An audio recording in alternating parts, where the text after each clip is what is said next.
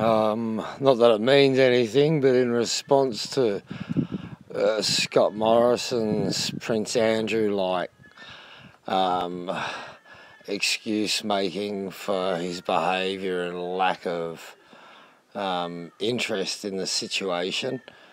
Um, I'm disgusted, absolutely disgusted. While he's playing and toying with our water, um, being a part of selling off the country, selling off stuff that's got no right. His smug look on his face as he's walking around trying to force handshakes out of people um, without even researching whether the guy had been through what sort of drama.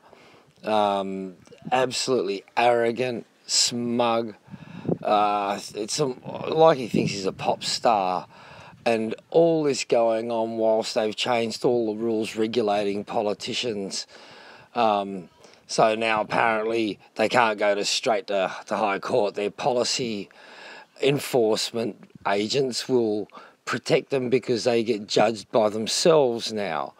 Um, that doesn't sound really fair. I don't really go for that myself. It just seems like the same crap over and over again. Um, they're making excuses for whatever they can, getting people alarmed over absolute bullshit.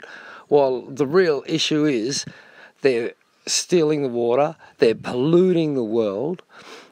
I mean, his answer implied that he'd known uh, since September these fires. These fires have been going since friggin' February.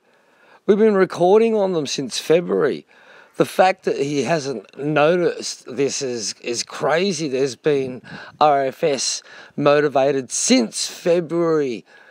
Um, it's nearly up to 12 months. Mate, get your facts right. Have a look at what's been going on. Anyway, I, I stand with those fellas shouting at him as he's running away in his white BMW. I think it's the same year BMW that booked me while we were doing some emergency work, taking people water and stuff. Anyway, God bless all. Have a lovely day.